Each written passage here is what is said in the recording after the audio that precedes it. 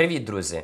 Польща в червоній зоні. І що це буде означати для нас, для українців? Якщо вам потрібна ця інформація, далі дивимось у відео.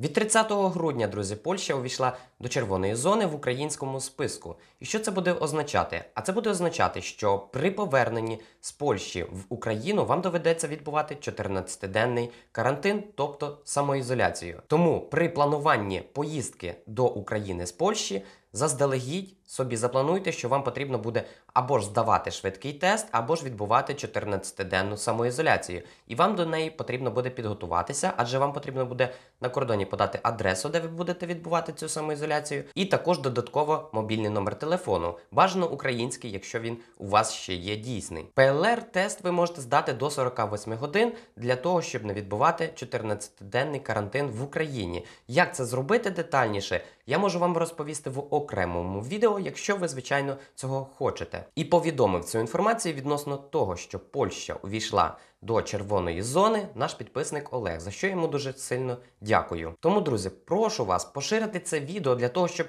Кожен українець, який планує їхати до України, зміг дізнатися, що Польща вже є в червоній зоні і потрібно відбувати самоізоляцію в Україні при виїзді з Польщі. Також не забувайте підтримати це відео лайком та написати своє запитання, на яке я зможу відповісти при першій же ж можливості, за що я вам буду дуже і дуже вдячний. Також, друзі, не забувайте писати свої історії відносно перетину кордону, чи вдалося вам обійти самоізоляцію якимось чином та інші моменти, які можуть бути цікавими для наших заробітчан, за що ми також вам будемо дуже і дуже вдячні. Ну а наразі у мене все. Всім дякую за перегляд і побачимось до наступного відео.